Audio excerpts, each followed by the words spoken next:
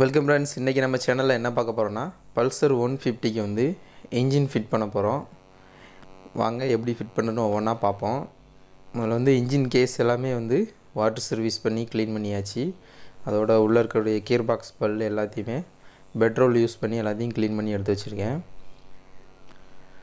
இதில் வந்து gear box பல் எதுவும் க்ளீன் பண்ணதுக்கப்புறம் எதுவும் போச்சா இல்லையா அப்படிங்கிறத வந்து நம்ம கம்ப்ளீட்டாக செக் பண்ணிக்கிறணும். ரெண்டு பல்லையுமே நான் ஆல்ரெடி செக் பண்ணி தான் வச்சுருக்கேன். இந்த வருஷத்தில் தான் அந்த கீர் பாக்ஸ் பல் வரும்.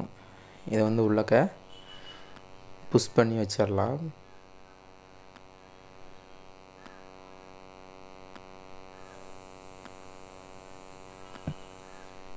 ஓகே ரெண்டையும் புஷ் பண்ணி வச்சாச்சு. புஷ் பண்ணதுக்கப்புறம் நம்ம திரும்பி பார்த்தோம்னா எங்கிட்டமே கம்ப்ளீட்டாக சுற்றாது ஏன் அப்படி இருந்துச்சுன்னா அதில் கூடிய இந்த இதான் அந்த கியர் பாக்ஸை வந்து செலக்டர் போர்க்கு இந்த போர்க்கை வந்து மாட்டினா தான் அது கரெக்டாக ஃப்ரீயாக சுற்றும் இதில் ஒரு சைடில் வந்து ரெண்டு போர்க்கு வரும் ஒரு சைடில் வந்து ஒரு போர்க்கு வரும்.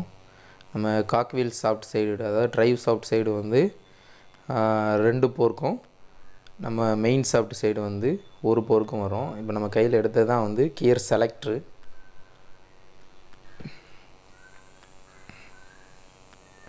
இது வந்து அந்த போர்க்குக்கும் செலக்டருக்கும் ஊடால் இருக்கக்கூடிய ஒரு புஷ்ஷு இது எதுக்காகனா அந்த கியர்ஸ் வந்து போடும்போது ஃப்ரீயாக இருக்கணுங்கிறதுக்காக.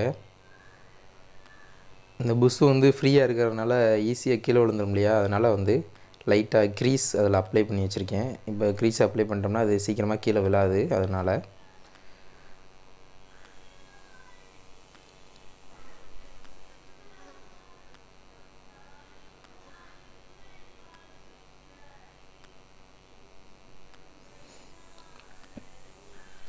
ஓகே கிரீஸ் வந்து அப்ளை பண்ணி வச்சாச்சு. நம்ம அந்த போர்க்கில் அந்த மேலே இருக்கு இல்லையா அந்த புஷ்ஷு அது வந்து நமக்கு தனியாக எடுத்துருவோம்.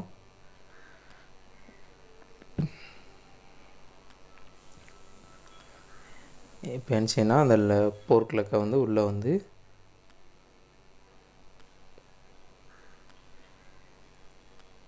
ரெண்டு பக்கமும் உள்ளே சொருகியாச்சு.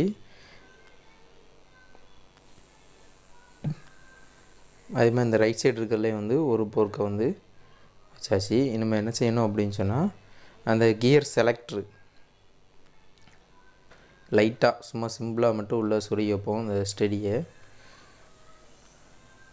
இதுதான் செலக்டரு இதில் தான் அந்த கியர் வந்து நம்ம போடும்போது செலக்டர் ஆகும். இப்போ இதில் வச்சு நம்ம அந்த புஷ்ஷை வச்சு லாக் பண்ணிடலாம்.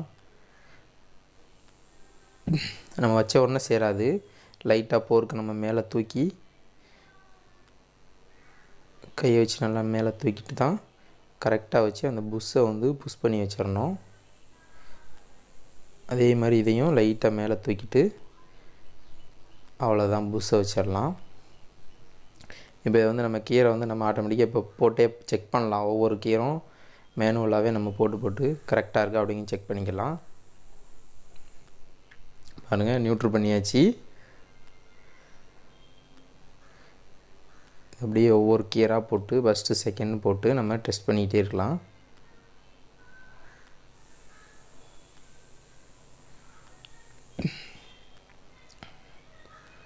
ஓகே ஃப்ரெண்ட்ஸ் இது வந்து கிக்கர் ஸ்ப்ரிங்கு கிக்கர் ரிட்டர்ன் ஆகிறதுக்குண்டான ஸ்ப்ரிங்கு இந்த ஸ்ப்ரிங்கும் சென்ட்ரு கேஸில் வரனால இதையும் நம்ம ஒரு தடவை பிரித்து மாட்டும்போது இதை ஒரு நியூ ஸ்ப்ரிங்கு வாங்கி மாற்றுறது தான் நல்லது. நானும் நியூ ஸ்ப்ரிங்கே வாங்கி மாட்டியாச்சு. இதுக்கப்புறம் வந்து கிராங்கு இந்த கிராங்கில் வந்து என்ன பண்ணியிருக்கோம் அப்படின்னு சொன்னால் ரெண்டு சைடு பேரிங் வந்து பூசு மாற்றிருக்கோம் அது போக அந்த கிராங்க் கை இருக்கு இல்லையா அந்த கையும் வந்து புதுசு மாற்றிருக்கோம் இந்த ரெண்டு பேரிங்கும் கிராங்க் கை மட்டும் பூசு மாற்றிருக்கோம்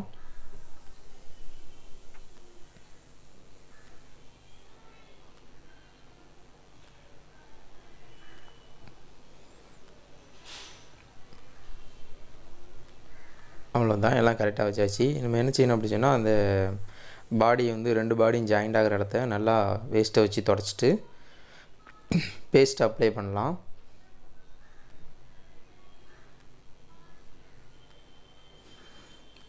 நம்ம சென்ட்ரு கேஸில் வரக்கூடிய எல்லா ஐட்டமும் நம்ம ஃபிட் பண்ணியாச்சு. அந்த லாஸ்ட் ஆகிற அந்த பேரிங் இயரிங் எல்லாமே ஆயில் அப்ளை பண்ணி ஃப்ரீயாக தான் இருக்குது. நம்ம இப்போ வந்து ஃபுல்லாகவே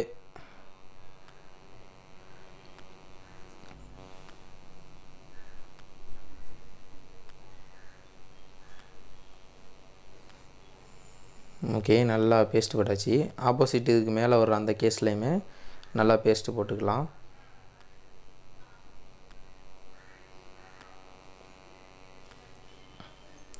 இதுக்கப்புறம் என்ன பண்ணால் அந்த பேக்கிங் கிட்டில் இருக்கக்கூடிய அந்த சென்டர் கேஸ் பேக்கிங்கை எடுத்து கரெக்டாக ஸ்டடி புஷில் கரெக்டாக உட்கார வச்சிடலாம். எல்லா ஹோல்ஸும் கரெக்டாக இருக்கான்னு ஒரு டைம் செக் பண்ணிக்கிறணும். இதுக்கப்புறமா இந்த கே இதுக்கு ஆப்போசிட் கேஸை வந்து மேலே வச்சிடலாம்.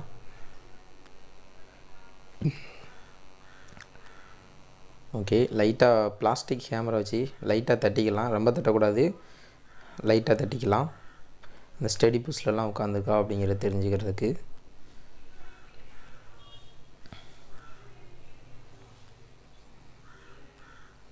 ஓகே கரெக்டாக தட்டியாச்சு. இப்போ நம்ம அந்த கிராங்கை சுற்றி பார்த்தாலும் ஃப்ரீயாக இருக்கும். அந்த கியர் சாஃப்ட்டு எல்லாமே வந்து ஃப்ரீயாக இருக்குது நம்ம வந்து இந்த கேஸை வந்து அப்படியே தலையில் திருப்பிடலாம். ஏன்னா அந்த சென்ட்ரு கேஸ்க்கு உண்டான போல்டு வந்து இந்த சைடு தான் வரும்.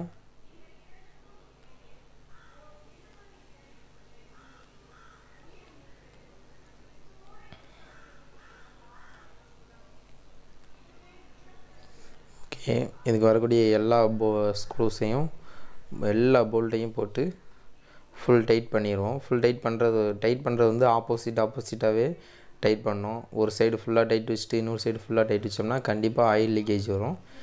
அதனால் கிராஸ் டு கிராஸ் எக்ஸ் டைப்பில் நம்ம வந்து டைட் பண்ணணும்.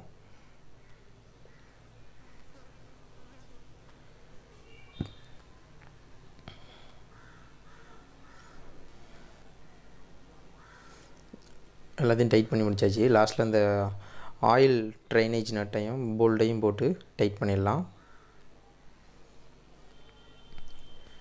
இதுக்கப்புறமா என்ன பண்ணோம் அப்படின்னு சொன்னால் இந்த எல்லா வண்டிக்குமே வந்து மேக்னட் சைடு வந்து ஆயிலில் தான் இருக்கும். ஆயில் வரும் போகும் எல்லாமே பண்ணும் பட்டு பல்சருக்கு வந்து ஆயிலே வராது. அதனால் இந்த சைடு வந்து ஆயில் வராமல் இருக்கிறதுக்காக கிராங்கில் ஒரு ஆயில் சீல் வரும்.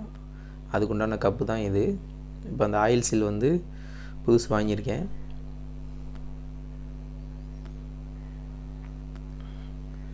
இந்த அதில் வச்சு கையை வச்சு கரெக்டாக புஷ் பண்ணிடலாம். கொஞ்சம் டைட்டாக தான் இருக்கும். மட்டமாக இருக்கணுங்கிறதுக்காக லைட்டாக பிளாஸ்டிக் ஹேமர் யூஸ் பண்ணி லைட்டாக மட்டமாக தட்டி விட்டுடலாம். நல்லா அதை தொடச்சி எடுத்துகிட்டு அதுலேயும் பேஸ்ட் அப்ளை பண்ணணும். கண்டிப்பாக இந்த சைடு ஆயில் லீக் ஆகிறதுக்கு வாய்ப்பு இருக்கிறனால அதில் ஒரு ரெண்டு ஓரிங் வரும். அந்த ரெண்டு ஓரிங்லேயே நல்லா பேஸ்ட்டை வந்து அப்ளை பண்ணிவிட்டு கரெக்டாக அதில் வந்து பார்த்திங்கன்னா கரெக்டாக மாட்டினா மட்டும்தான் அது ஃபிட் ஆகும். மூணு ஸ்க்ரூவும் மாற்றி மாற்றி மாட்டினா ஃபிட் ஆகாது. கரெக்டாக பார்த்து மாட்டிட்டு அந்த மூணு ஸ்டார் ஸ்க்ரூ வரும். அந்த மூணு ஸ்டார் ஸ்க்ரூவையும் போட்டு டைட் பண்ணிடலாம்.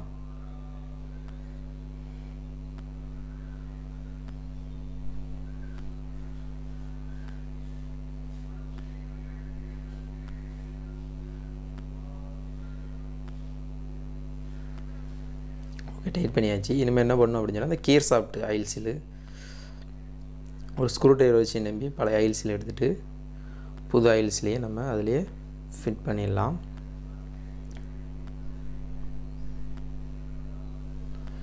இது ரொம்ப ஈஸியாக இருக்கிறனால இது நம்ம கையை வச்சே பண்ணிடலாம். லைட்டாக மட்டமாக இருக்கான்னு மட்டும் லைட்டாக பார்த்துக்கலாம். அதுக்காக பிளாஸ்டிக் கேமரா யூஸ் பண்ணி லைட்டாக தட்டிக்கலாம். மட்டமாக இருக்குங்கிறதையும் ஒரு வாட்டி கையை வச்சு செக் பண்ணிக்கிடுவோம். இதுக்கப்புறம் என்ன சொல்லணும்னா நம்ம காக்வில் ஷாப்பில் இருக்கிற ஆயில் நம்ம ஸ்க்ரூ வச்சு நம்பினோம்னா வந்துடும் இதுவும் இப்போ புதுசு வந்து வாங்கியாச்சு.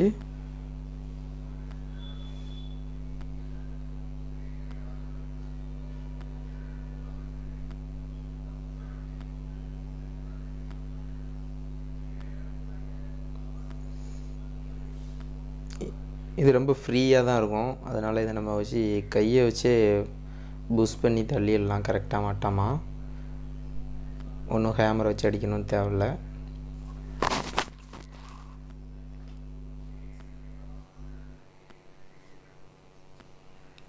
ஓகே மட்டமாக தள்ளியாச்சு.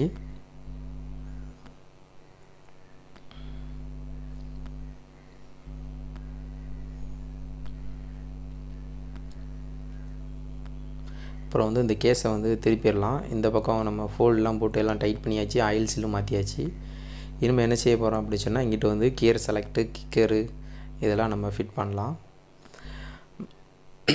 இப்போ வந்து கியர் செலக்டரில் வந்து ஒரு நீடில் காற்று இருக்கும். அந்த காற்றை வந்து உள்ளே வைக்கிறோம். இதுக்கப்புறமா வந்து ஒரு ரவுண்டு புஷ்ஷு வரும். அந்த பேரிங்க்கும் செலக்டருக்கும் ஊடால அந்த புஷ்ஷையும் இப்போ வைக்கலாம். இதான் அந்த புஷ்ஷு இந்த இனிமேல் வந்து கீர் செலக்டரில் அந்த மாங்கான்னு சொல்லுவாங்க கீர் செலக்டர் மாங்காய் இதான் அந்த செலக்டரு. இதை வந்து கரெக்டாக அந்த உள்ளே வச்சோம் இல்லையா காற்று அது வசம் கரெக்டாக இருக்கிற மாதிரி வைக்கணும். நம்ம அந்த காற்றுக்கு அப்புறமா வச்சு அந்த புஷ்ஷு வந்து கரெக்டாக ஃபிட் ஆகிருக்காது நம்ம ஒரு ஸ்க்ரூ ட்ரைவர் அதை வச்சு லைட்டாக கீழே கரெக்டாக சென்டரில் வச்சிட்டோம்னா கரெக்டாக ஃபிட் ஆயிரும்.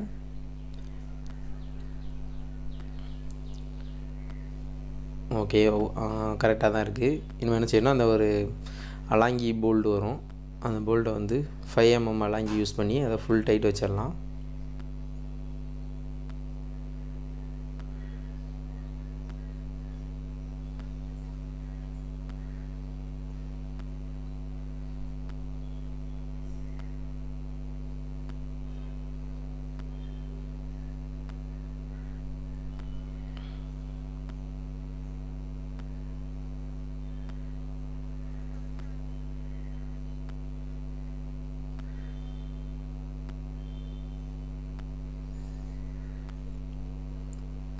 ஓகே ஃபுல் டைட் வச்சாச்சு.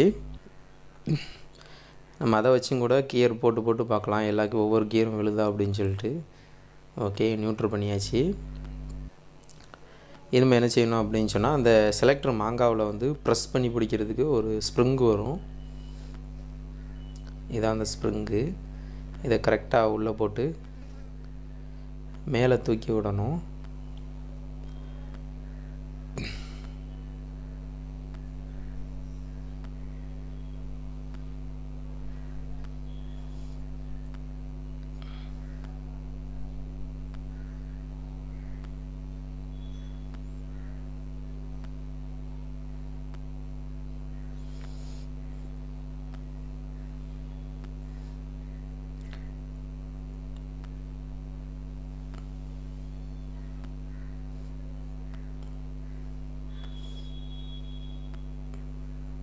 இது எதுக்காக இந்த ஸ்ப்ரிங் வருது அப்படின்னு சொன்னால் நம்ம ஒரு கியர் போடும்போது ஒரு கியர் மட்டும்தான் விழணும் அடுத்த கியர் போகக்கூடாது இல்லையா? அதனால் இந்த ஸ்ப்ரிங்கு ஒவ்வொரு கியர் வந்தோடனே அதுவாகவே பிடிச்சிக்கும். நம்ம இப்போ லாஸ்ட்டாக போட்டுட்டும் ஒவ்வொரு கியராக போட்டு செக் பண்ணி பார்க்கலாம். கண்டிப்பாக சென்ட்ரு கேஸ் போட்டு டைட் பண்ணதுக்கப்புறம் நம்ம கியரை தான் ஃபஸ்ட்டு அடுத்தபடியாக மாட்டிட்டு எல்லா கியரும் ஒழுங்காக விழுதானுங்கிறது செக் பண்ணிக்கிறணும்.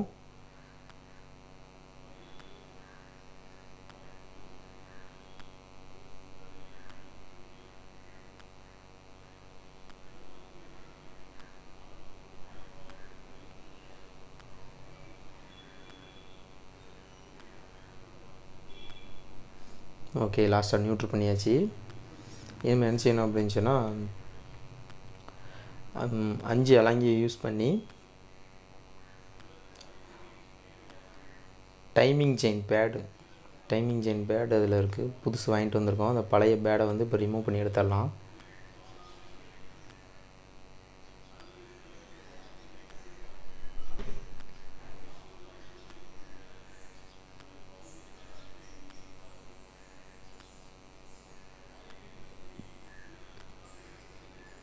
இது அந்த பழைய பேடு இப்போ புது பேடு வந்து வாங்கியிருக்கேன்.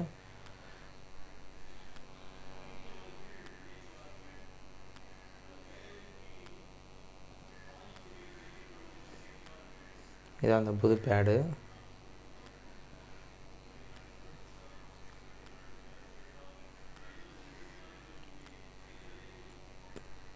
திரும்ப அதே அலங்கி போல்ட்டை வச்சு அதை வந்து ஃபுல் டைட் வச்சிடலாம். ஃபுல் டைட் வச்சுட்டு அந்த டைமிங் செயின் பேடு வந்து ஃப்ரீயாக இருக்கான்னு பார்க்கணும். டைட்டாக இருக்கக்கூடாது. ஃப்ரீயாக இருக்கா அப்படிங்கிறத வந்து நம்ம செக் பண்ணிக்கலாம்.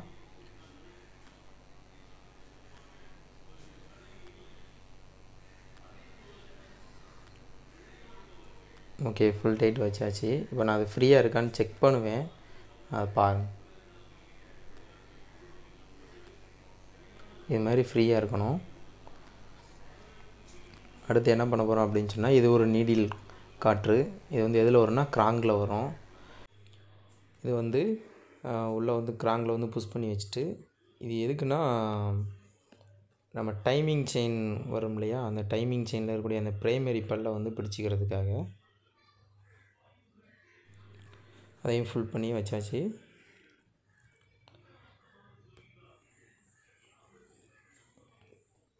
அடுத்து வந்து என்ன செய்யணும் அப்படின்னு சொன்னால் இன்னொரு டைமிங் செயினை வந்து முதல்ல வந்து கோர்த்து வச்சிடலாம்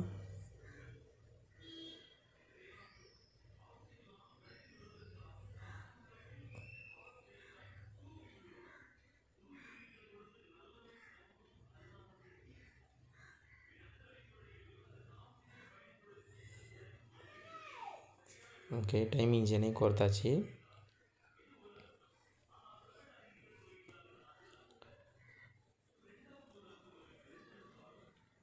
இன்னும் வந்து என்ன செய்யணும்னா இது வந்து ஸ்கொயர் டைப் காற்று. இந்த காற்றை வந்து இதுவும் கிராங்கில் தான் வரும்.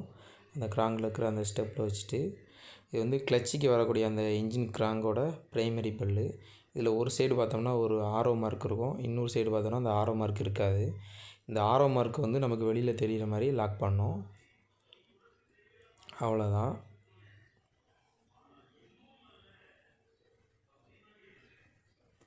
ஓகே இதையும் டாப் பண்ணி வச்சாச்சு.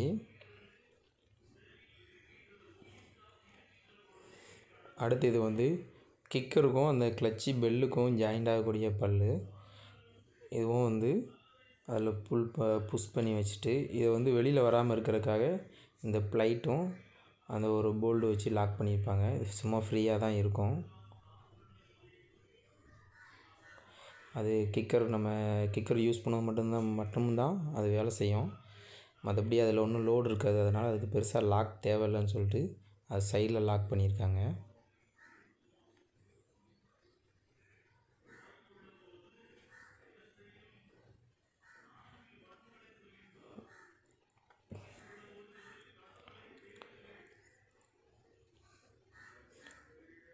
அடுத்து வந்து என்ன பண்ண போனால் இதான் கியர் ஷிஃப்ட் பண்ணுற நம்ம ராடு இதையும் நம்ம அப்படியே அந்த ஹோல்ஸ் வழியாக ஃப்ரீயாக இருக்கணும். நம்ம ஒவ்வொரு வாட்டி உள்ள ஃபுல் பண்ணும்போது ஃப்ரீயாக இருக்கணும். ஓகே இது நல்லா ஃப்ரீயாக இருக்குது அப்படின்னா தான் கியரும் நமக்கு ஸ்மூத்தாக இருக்கும். ஓகே கியர் வேலை செய்யுதா அப்படிங்கிறதையும் நம்ம செக் பண்ணியாச்சு. நம்ம அடுத்து என்ன செய்யணும் அப்படின்னு சொன்னால் நம்ம இன்ஜின் கேஸை வந்து மேலே திருப்பிடலாம்.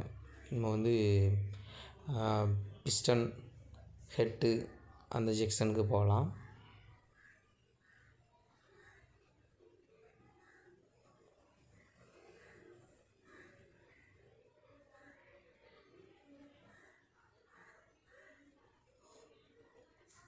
இந்த நாலு ஹெட்டுக்கு வரக்கூடிய அந்த நாலு ஸ்டட்டு இருக்கு இல்லையா? அந்த நாலு ஸ்டட்டையுமே வந்து நம்ம இப்போ வெளியிலேயே வச்சு ஃபுல்லாக டைட் பண்ணிடலாம். ஒரு ஸ்டட்டு மட்டும் நான் போடல. ஏன்னா ஒரு ஸ்டட்டில் நட்டு இருக்குது அது வந்து எடுக்க தேவையில்லை அப்படிங்கிறனால மூணு ஸ்டட்டு மட்டும் போட்டுக்கிறேன். போட்டு ஃபுல்லாக லாக் பண்ணியாச்சு. இனிமேல் என்ன செய்ய போகிறோம்னா நம்ம பிஸ்டன் வந்து இன்ஸ்டால் பண்ண போகிறோம் பிஸ்டனில் வந்து ரிங்ஸ் எப்படி போடுறது அப்படின்னு சொல்லி ஏற்கனவே நம்ம சேனலில் ஒரு வீடியோ போட்டிருக்கேன். ப்ளேலிஸ்ட்டில் இருக்குது. உங்களுக்கு மேலே வேணால் ஐ கார்டு கொடுக்குறேன் அதை பாருங்கள் பிஸ்டன் வந்து எப்படி ஃபிட் பண்ணணும் அப்படின்னு சொன்னால் ஒரு ஆரோ மார்க் தெரியும் உங்களுக்கு.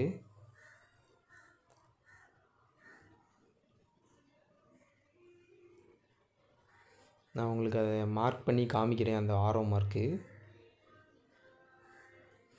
இப்போ வந்து நம்ம அந்த பிஸ்டன் பின்னுக்கு வந்து லாக் போட போகிறோம் அந்த லாக் வந்து உள்ளே தெரிச்சிடக்கூடாது இல்லையா?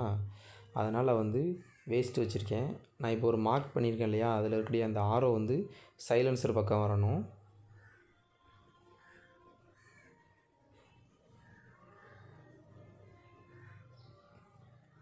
ஓகே அந்த லாக்கையும் போட்டாச்சு. ஒன் டைம் கரெக்டாக இருக்காங்கன்னு செக் பண்ணிக்கணும். நம்ம ரிங்ஸ் கோர்த்த எந்தெந்த இடத்துல என்னென்ன ரிங்ஸ் வருமோ அதுவும் கரெக்டாக இருக்கா அப்படிங்கிறத செக் பண்ணிடலாம்.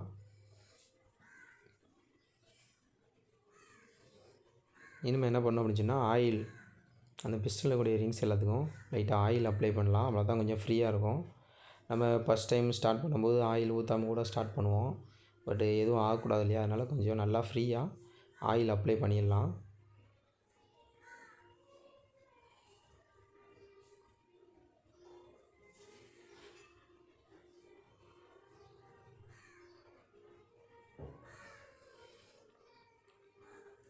ஓகே ஆயில் அப்ளை பண்ணியாச்சு. இனிமேல் என்ன பண்ணோம் அப்படின்னா நம்ம அந்த பேக்கிங் கிட்டில் இருக்கக்கூடிய இந்த சிலிண்டருக்கு வரக்கூடிய இந்த பேக்கிங்கை வந்து இப்போ எடுத்து நம்ம உள்ளே போட்டுடலாம்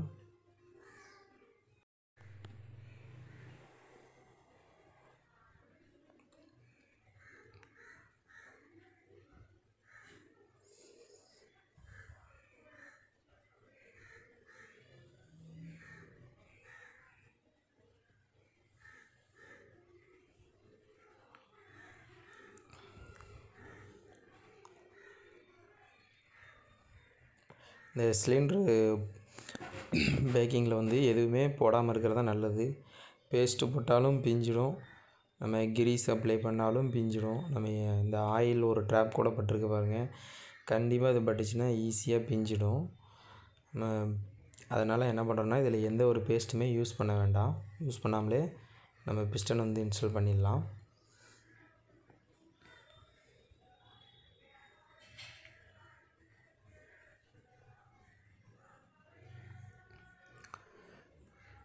சில பேர் என்ன பண்ணுவாங்கன்னா பிஸ்டனை வந்து போர்லேயே செட் பண்ணிவிட்டு அதுக்கப்புறமா லாக் போடுவாங்க. நான் எப்போதுமே க்ராங்கில் ஃபிட் பண்ணிவிட்டு தான் போரை உள்ளே இறக்குவேன். கரெக்டாக லைட் லைட்டாக ஷேக் பண்ணிவிட்டு டிஸ்டர்பன்ஸ் இருந்துச்சுன்னா அந்த ரிங்ஸை மட்டும் ஒரு ஸ்க்ரூ ட்ரைவர் வச்சு லைட்டாக ப்ரெஸ் பண்ணி பிடிச்சிட்டு ஈஸியாக போட்டுடலாம். லைட்டாக லெஃப்ட் ரைட்டு ஷேக் பண்ணி அப்படியே புஷ் பண்ணோம்னா உள்ளே போயிடும்.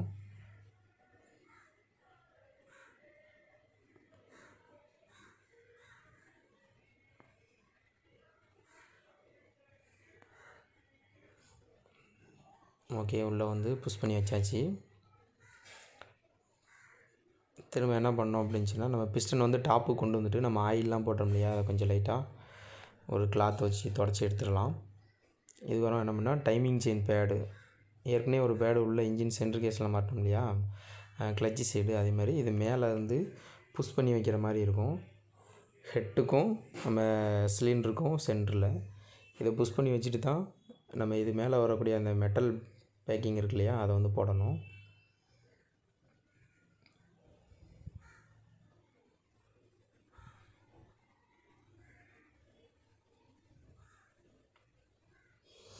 இதுக்கப்புறம் வந்து இந்த ஸ்டெடி புஷ் வந்து இதில் போடணும். ஸ்டெடி புஷ் வந்து ரொம்ப அவசியம்.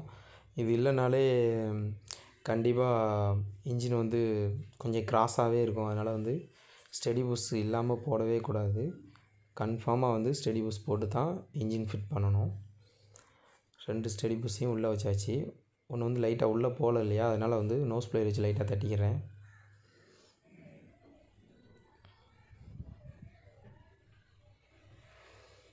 இன்னும் வந்து நம்ம ஹெட்டை வந்து சொல்லிடலாம்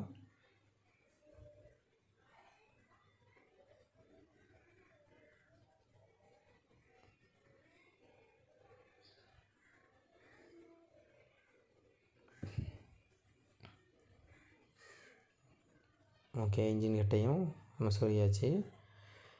இனிமேல் என்ன பண்ணோம் அப்படின்னு சொன்னால் அந்த கேம் சாஃப்ட் இருக்கு இல்லையா? அந்த கேம் சாஃப்ட்டை வந்து இதில் வைக்கணும். மற்ற எல்லா வண்டிகளுக்குமே ஹெட்லேயே ஹேம் சாப்பிட்டு வந்துடும் நம்ம தனியாக எடுத்து வைக்க தேவை இருக்காது. இது மட்டும் கொஞ்சம் டிஃப்ரெண்ட்டாக இருக்கும் பல்சரு.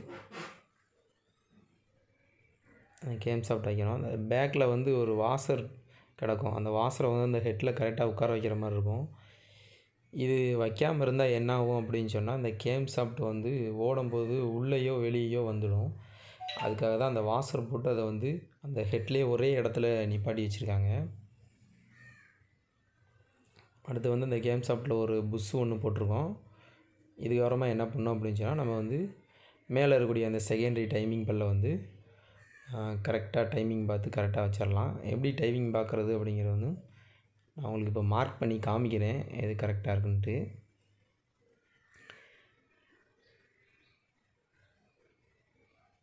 இந்த ஹெட்டோட மேல் அந்த பார்த்தாலே உங்களுக்கு தெரியும். ஹெட்டில் வந்து இதான் மார்க்கிங்கு நல்லா மார்க் பண்ணி காமிக்கிறேன். இந்த இடத்துல ரெண்டு ரெண்டு கோடு இருக்கும். மேலே பார்த்தீங்கன்னா டி அப்படின்னு இருக்கும். இதான் வந்து டைமிங்கு இது வந்து எந்த வருஷத்தில் இருக்கணும் அப்படின்னு சொன்னால் பிஸ்டன் வந்து டாப்பில் இருக்கணும். இல்லைன்னா நம்ம அந்த கிராங்கில் வந்து ஒரு ப்ரைமரி பல் மாட்டினோம் இல்லையா அந்த பல்லுலையும் ஒரு மார்க்கிங் இருக்கும். நான் ஏற்கனவே சொல்லியிருக்கேன். அந்த மார்க்கிங்கும் மேலே பார்த்த மணிக்கு டாப்பில் இருக்கும். இதுவும் டீயில் வைக்கணும். அது பிஸ்டன் டாப்பில் இருக்கணும். அதே மாதிரி இந்த டைமிங்கும் டாப்பில் இருக்கணும். இதுதான் இதோட மெத்தடு அலாங்கி போல்ட்டை போட்டு ஃபுல் டைட் வச்சிடலாம்.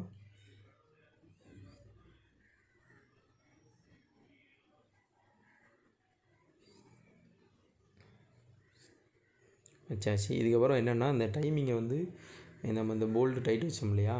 இதை வந்து மறைக்கிறதுக்காக ஒரு கேப் வரும் டம்மி அந்த டைமிங் ஒரு டம்மி வந்து வாங்கியிருக்கேன். அதுக்கு அது மாட்டுறதுக்கு முன்னாடி ஃபுல்லாக நல்லா பேஸ்ட்டு நிறையா அப்ளை பண்ணிடணும். ஏன்னா இந்த இடத்துல வந்து கேஸ்கெட்டோ எந்த பேக்கிங்கோ எதுவும் வராது.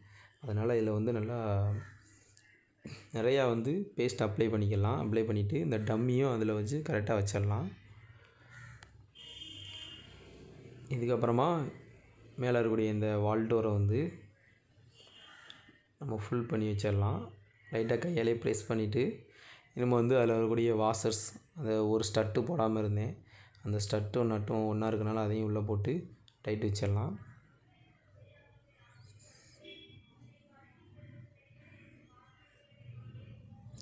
டைட் வைக்கும்போது நம்ம எக்ஸ் டைப்பில் அதே மாதிரி ஆப்போசிட் ஆப்போசிட்டு டைட் வைக்கிறோம்.